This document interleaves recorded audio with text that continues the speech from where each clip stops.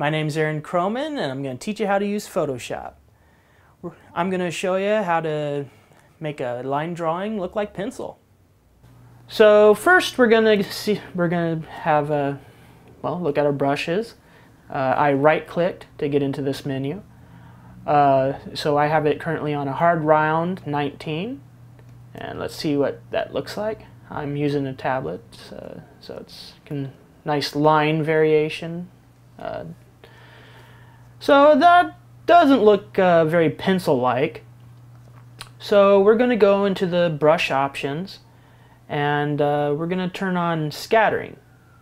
And let's see what happens. Well, not much because everything's kind of at zero. So let's see what the scatter can do. So we over here kind of does nothing, but over the, uh, to the other side, 1000%, kind of looks like this. So we don't want that much. We want it kind of be more around maybe 400.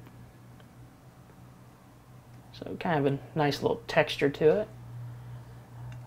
Uh, then we're going to go to the count. This is how many little balls we have. So let's see how much when we have a whole bunch. Just kind of a solid mass. So we want maybe about three, four.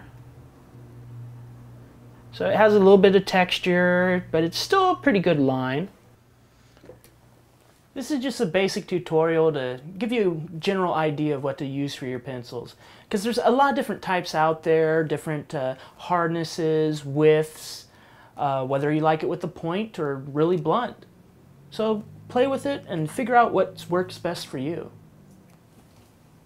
And pencils aren't completely black. So we're going to go over here and open up the color picker and we're going to make it kind of a dark gray. And let's look how it looks. And that looks good. But sometimes you have like a little bit of a light stroke. So I'm putting down the opacity down to about 60 and so now we can layer it and while we're at it, I'm going to go back into the brush options and we'll turn on airbrush. Doesn't do too much, but uh, play with the uh, different stuff like texture and find all the little cool things you can do with these options. But this is how you uh, get a drawing to look just like pencil. My name's Aaron Kromann, and good luck with Photoshop.